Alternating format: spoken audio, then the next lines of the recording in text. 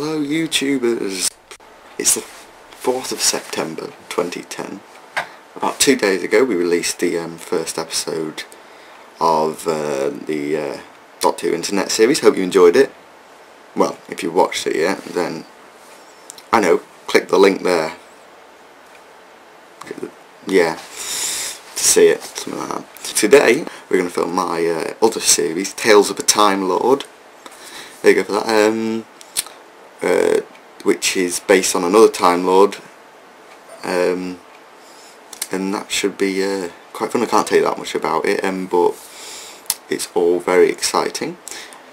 So yeah, um, thanks to everyone who uh, did uh, episode one, and uh, hopefully now I'll be showing you some behind the scenes footage of uh, our filming today. This is uh, filming for Tales of the Time Lord. I must have spoken to you not too long ago. That that's uh, the two of the cast walking over there getting ready for the very first scene, which is quite exciting. Um, yeah, because we can't film at the moment in the other place, so we're waiting for that, and then we're filming this scene first, which is quite fun. Which is episode one. Oh, I, no, I better not tell you the title. But I don't know. Oh well and, and they still seem to be going and I don't remember if to see this they're, they're over there. Um, there I can see them. Oh wow that's pretty good zoom. And now I don't actually have a clue where they're going. They're going off the camera. Um, I don't know where they've gone. I don't actually know what they're doing at the moment. Let me just zoom out as much as I can.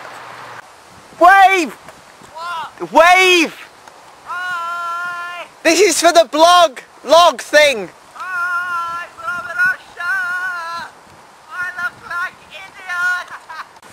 Hello. I've got a stitch now. Hiya. Is this the video log? Yeah, it's uh, Oh, hiya. It's uh, Hi everyone.